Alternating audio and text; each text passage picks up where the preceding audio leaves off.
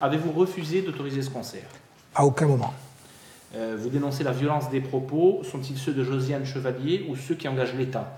Ce sont en effet des propos extrêmement violents, aussi bien par euh, le mensonge qui est proféré euh, que par les insultes qui sont adressées à mon égard. La véritable question qui se pose, c'est est-ce que c'est simplement Madame Chevalier qui parle ou est-ce que ces propos engagent la représentante de l'État qu'elle est et donc l'État j'ai besoin de le savoir et, j'attends une réponse claire. Vous avez échangé à ce sujet avec le nouveau préfet Franck Robin. Que vous dit-il? Celui-ci m'a indiqué qu'il n'était pas solidaire euh, de ce courrier. Il m'a dit également qu'il me l'écrirait. J'attends euh, de, voir ce courrier. Je crois qu'il est indispensable. Vous parlez de mensonges, d'injures. Euh, comment faut-il interpréter cela? C'est fait dans quel but selon vous? Je pense qu'il y a des gens, notamment à Paris, qui ne veulent en aucun cas du chemin de paix, euh, du chemin de démocratie et du chemin d'émancipation que la Corse a majoritairement choisi.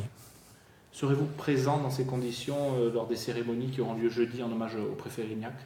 Je serai présent à ces cérémonies parce que je considère que la compassion qui est due à la famille du préfet Rignac, le refus de toutes les violences, n'a rien à voir avec euh, la lettre injurieuse que vient de m'envoyer la, préfète euh, Madame Chevalier. De la même façon, ma présence ne vaut pas caution de l'attitude actuelle de l'État qui refuse toute solution politique et qui refuse également d'appliquer euh, la justice, le rapprochement et la libération conditionnelle aux personnes qui ont été condamnées dans le cas de l'assassinat du préfet Rignac.